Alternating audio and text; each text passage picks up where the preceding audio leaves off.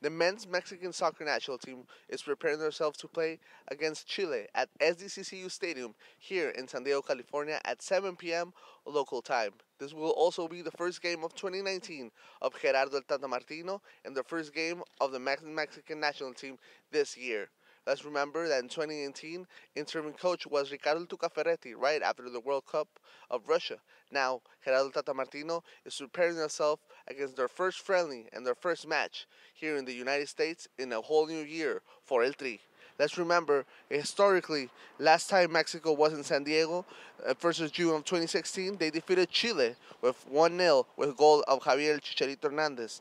In the other hand, last time Mexico was against Chile in the United States that Copa America the 18th of June 2016, where Chile beat and battered Mexico 7-0 in Santa Clara, California.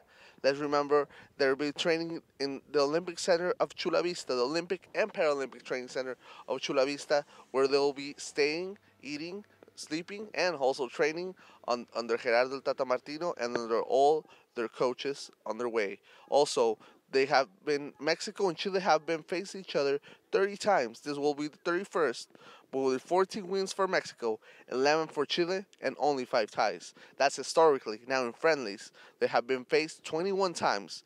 Mexico has 11 wins, Chile has 8 for 2 ties in friendly games.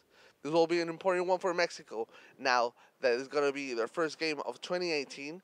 A couple of players have been injured, such as Jonathan Orozco has been exchanged by goalkeeper from Necaxa, Hugo Gonzalez, and Jesus El Tecatito Corona was also dropped down from the call-up after Porto told him not to come to San Diego. He's injured from an ankle injury and he will not be playing in this Fecha FIFA and these new games for El Tri. For EVT News from Chula Vista, California, Diego Gomez.